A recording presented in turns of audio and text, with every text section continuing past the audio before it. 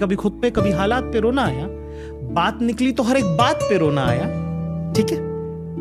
और हम तो समझे थे कि हम भूल गए हैं उनको। फिर ये आज किस बात पे रोना आया, ठीक है?